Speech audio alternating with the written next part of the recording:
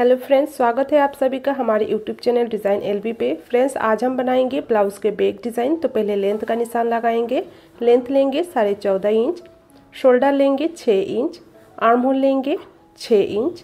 Blouse का size आप अपने अकॉर्डिंग रखिएगा। ये ब्लाउज़ थर्टी फोर साइज़ पे है। तो इसके अकॉर्डिंग ही हम कटिंग और स्टिचिंग करेंगे।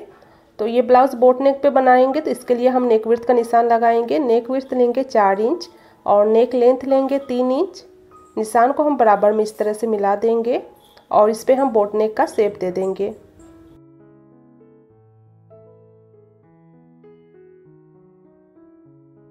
और इसी निशान से और एक निशान लगाएँगे हम साढ़े आठ इंच पे इस तरह से। इस तरह से साढ़े आठ इंच पे निशान को लगाएँगे और नीचे से विर्थ हम चार इंच रखेंगे। जितना हमने ऊपर रखा है नेक विर्थ उतना ही नीचे भी रखेंगे और निशान को इस तरह से बराबर में मिला देंगे। और अब देखिए इस तरह से हम इस पर हार्ट शेप दे देंगे। इस तरह से देखिए मिलाते हुए हम हार्ट शेप दे देंगे। तो यहाँ पर देखिए मैंने मार्क कर लिया है। अब हम लेंगे पेपर पेस्टिंग पेपर पेस्टिंग को डबल फोल्ड करके लेना है और नीचे की तरफ़ और ऊपर की तरफ़ अच्छे से फोल्ड करते हुए कट लगा लेंगे छोटा सा। और पेपर पेस्टिंग को बराबर में हम नेक वाले पार्ट पर बराबर में मिलाते हुए रखेंगे। सेंटर को सेंटर से मिलाते हुए रखेंगे और एज इट इज़ ड्रॉ कर लेंगे इस तरह से। तो यहाँ पर देखिए हमने मार्क कर लिया है। अब इसी मार्क को मैंने दूसरे तरफ़ भी बना लिया है। अब इसे कट करेंगे तो साइड से वन इंच एक्स्ट्रा लेते हुए, एक इंच एक्स्ट्रा लेते हुए कट कर लेंगे इस तरह से।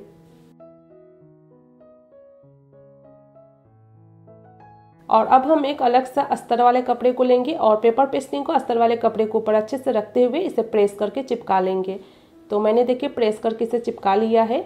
अब साइड से हाफ़ इंच एक्स्ट्रा कपड़े को रखते हुए बाकी सारे पार्ट को कट कर लेंगे।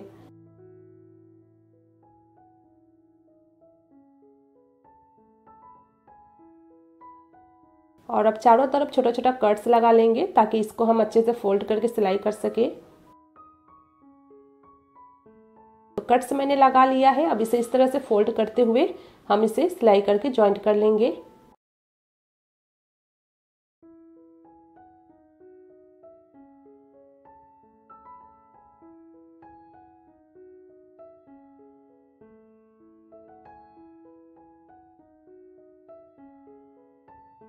तो पेपर पेस्टिंग वाले नेक पार्ट को हमने सिलाई करके इसे फिनिशिंग कर दिया है। अब हम इसे साइड करते हैं। अब हम लेंगे बैक पार्ट तो बैक पार्ट का जो मेन फैब्रिक है, उसकी रॉन्ग साइड हम ऊपर की तरफ़ करते हुए रखेंगे। इस तरह से उल्टी तरफ़ हम बैक पार्ट की ऊपर की ओर करते हुए रखेंगे और ऊपर से अस्तर वाले पार्ट को रखते हुए अच्छे से हम मिलाते हुए पिनअप कर लेंगे। और अब दोनों फैब्रिक को सिलाई करके ज्वाइंट कर लेंगे। तो चारों तरफ़ इसी तरह से हम सिलाई करके दोनों फैब्रिक को ज्वाइंट कर लेंगे।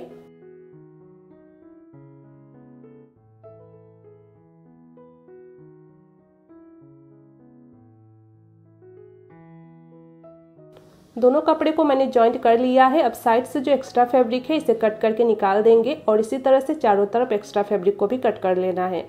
तो मैंने चारों तरफ़ एक्स्ट्रा फैब्रिक को कट कर लिया है। अब बैक पार्ट को सेंटर से हम फोल्ड करेंगे और अच्छे से सेंटर से मिलाते हुए इसे रख लेना है पहले और फिर चौक से हम सेंटर पे निशान लगाएँगे। तो इस तरह से देखिए सेंटर पे चौक से निशान लगा लेंगे और ऊपर की तरफ़ एक छोटा सा कट्स लगा लेंगे। इस तरह से और जो नेक वाले पार्ट को हमने रेडी किया था, उस वाले नेक पार्ट को भी ले लेना है। और इस निशान के ऊपर बराबर में हम सेंटर को सेंटर से मिलाते हुए रखेंगे। तो आप चाहे तो नेक वाले पार्ट में सेंटर पे पहले चौक से फोल्ड करते हुए निशान लगा सकते हैं।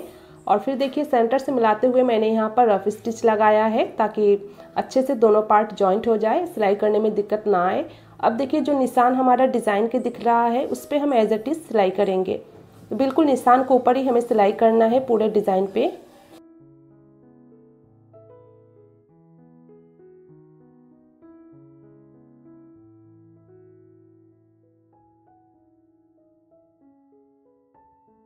तो देखिए, नेक पर मैंने सिलाई कर लिया है।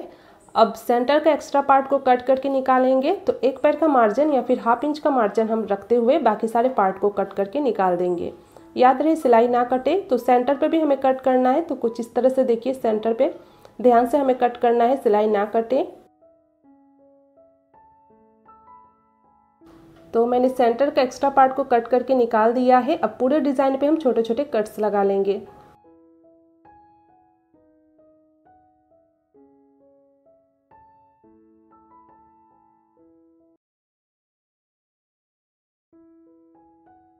चारों तरफ़ मैंने कट लगा लिया है, अब इसे दूसरे तरफ़ पलट लेना है। इस तरह से कॉर्नर को अच्छे से किसी नोखीली चीज़ से बाहर को निकाल लेना है, अच्छे से।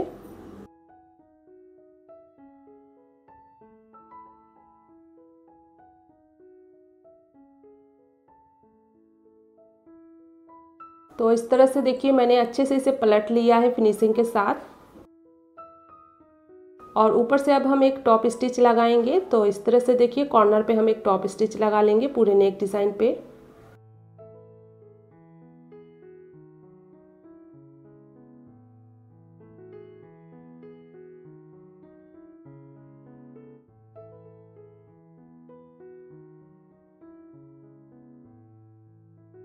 पूरे पार्ट में मैंने सिलाई कर दिया है नेक वाले पार्ट पे। अब हम इस पर टक्स की स्टिचिंग करेंगे तो सेंटर से बराबर में फोल्ड करते हुए टक्स की स्टिचिंग करेंगे। तो इस तरह से देखिए, सेंटर से बराबर में हम इसे फोल्ड करेंगे और फिर टक्स की स्टिचिंग कर लेंगे। टक्स की लेंथ 4.5 इंच रखनी है।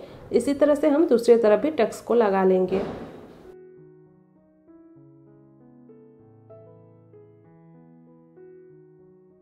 तो देखिए, दोनों तरफ़ मैंने टक्स को लगा लिया है। अब नीचे की ओर हम कमर पट्टी लगाएँगे। डेढ़ इंच चौड़ी कमर पट्टी लेनी है।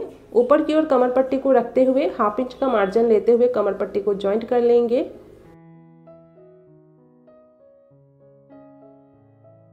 और अब कमर पट्टी को इस तरफ़ पलटते हुए कमर पट्टी को ऊपर से और एक सिलाई करनी है। कमर पट्टी को ऊपर से मैंने सिलाई लगा दिया है। अब कमर पट्टी को दूसरे तरफ़ पलटते हुए इस पर तुरपाई कर लेंगे। तो तो देखिए, कमर पट्टी लग चुकी है, अब ये बैक पार्ट बन चुकी है। तो इसे हम साइड करते हैं। अब डिज़ाइन के लिए हम कुछ पट्टी लेंगे। उससे हम डिज़ाइन बनाने वाले हैं। तो कॉन्ट्रास्ट कलर में मैंने यहाँ पर पट्टी लिया है। पट्टी का विर्थ यहाँ पर थ्री इंच है, तीन इंच और लेंथ आप अपने अकॉर्डिंग रख सकते हैं। लेंथ हमें ज़्यादा ही लेना है। और साइड से देखिए फोल्ड करते हुए हम एक पैर का मार्जिन रखते हुए इसे सिलाई कर लेंगे इस तरह से।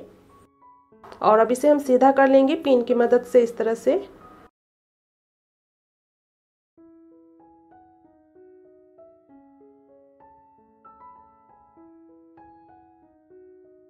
तो मैंने इसे सीधा कर लिया है। अब हाथ से इसे बराबर में मिला लेना है, इस तरह से फोल्ड करते हुए।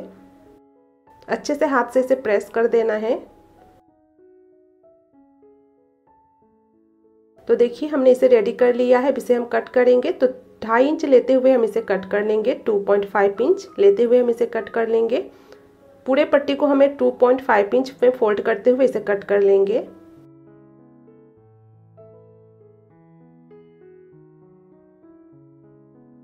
तो देखिए, मैंने कट लगा दिया है। अब इससे हम डिज़ाइन बनाएँगे तो बैक वाले पार्ट को हमें ले लेना है। बैक वाले पार्ट को अच्छे से फैलाते हुए रखेंगे। और जो हमने नीचे की तरफ़ हार्ड वाला डिज़ाइन बनाया है, उस पर हम इस डिज़ाइन को लगाएँगे। तो ऊपर से पहले हमें एक इंच का गेप छोड़ देना है। इस तरह से एक इंच का गेप छोड़ते हुए, उसके बाद हम पौने एक इंच या फिर हाफ़ इंच का गेप छोड़ते हुए इस डिज़ाइन को हमें एक एक करके इस तरह से ज्वाइंट करेंगे।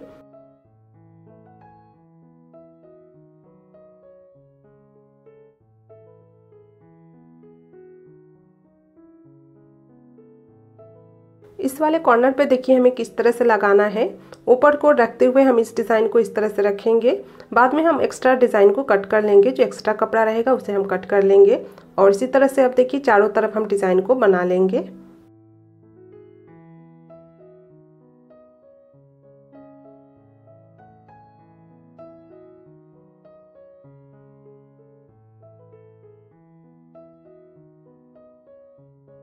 तो देखिए, सारे डिज़ाइन को मैंने ज्वाइंट कर लिया है। अब जो एक्स्ट्रा कपड़ा है, इसे कट कर लेंगे इस तरह से। और इससे अब हम डिज़ाइन बनाएँगे। तो पहले हम इस पर लेस लगाएँगे। तो इस तरह से देखिए कॉर्नर पे बराबर में मिलाते हुए लेस को लगा लेंगे। कॉर्नर पे अच्छे से फोल्ड करते हुए लेस को लगाना है। और इसी तरह से हम पूरे नेक डिज़ाइन पे लेस को लगा लेंगे।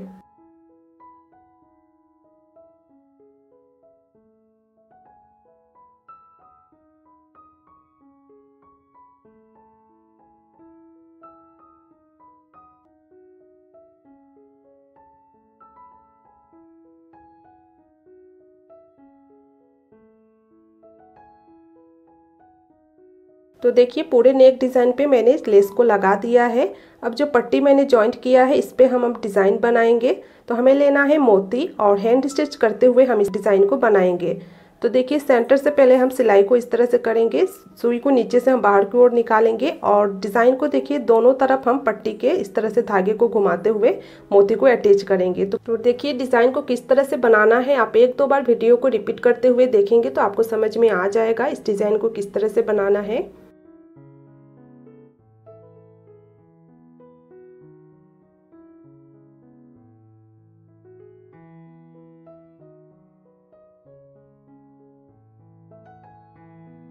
तो देखिए, मैंने तीन डिज़ाइन बना लिया है। इसी तरह से सारे डिज़ाइन को बना लेंगे। तो यहाँ पर देखिए, सारे डिज़ाइन को मैंने बना लिया है। और ऊपर की तरफ़ देखिए, मैंने लटकन भी लगा दिया है। तो फ्रेंड्स, आज का ये ब्लाउज डिज़ाइन बन के कंप्लीट है। आज का ये ब्लाउज आपको कैसा लगा, मुझे कमेंट में ज़रूर बताइएगा। वीडियो पसंद आई हो तो लाइक और शेयर ज़रूर से कीजिएगा। और चैनल पर पहली बार आए हैं तो चैनल को सब्सक्राइब भी कीजिएगा।